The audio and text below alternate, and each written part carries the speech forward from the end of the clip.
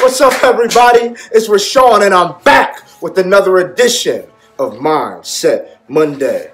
So the weather has been crazy my way. Like one day it's sunny and nice, the next day it's five degrees and icing and snowing. Yeah, we had an icy and snowy day just a couple days ago, and I'm on my way home. And about a half a mile from my house is this huge hill that I always have to make it up whenever it snows or whenever it's icy. And I'm always like, God, please help me get up this hill. Well, this time I, I literally get to the hill and I'm like, God, how am I going to get up this hill? And he sends a blessing. You know how God is. He sent a blessing in the form of this huge truck that had four wheel drive and all that good stuff. So, you know what I did?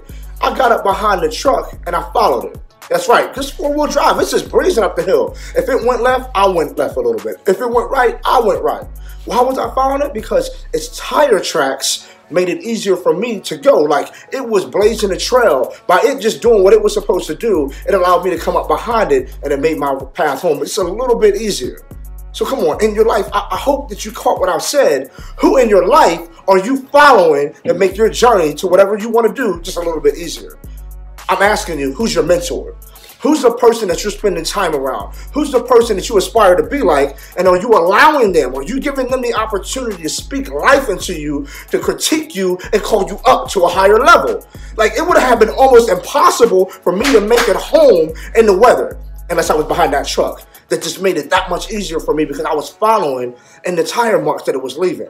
Who are you following? You tell me, oh, I want to be great. 2019 is my year. Here it is, the third week into January, and you're still doing the same things you were doing last year. Let's go. Who's your mentor? Who are you spending time with? Are you opening yourself up to being critiqued? Or are you complaining to being offended when this person challenges you? Come on, you're never going to get anywhere in life unless you can be challenged. And then, come on, that's, that's not it when you recognize, okay, I need a mentor to kind of help me along my path to where I want to go, I need you to recognize that you're also creating tire marks for somebody to come behind you. Because just like I followed that truck, somebody then later came and followed in both of our tracks. You get what I'm saying? So who right now is coming up behind you? Are you living your life in such a way that somebody can model their behavior and get the results that you're getting? Come on, it goes both ways. Find somebody to follow, then Find somebody to lead. It's all about reproducing yourself and somebody else so the world can be better. Those are the two things. Who are you following? Two things. Who are you following this year, 2019? Who's your mentor?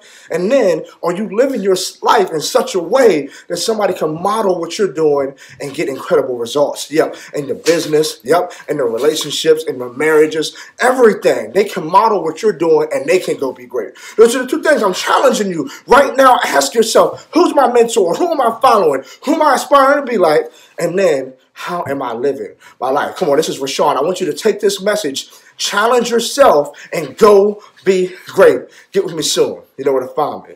I'm out.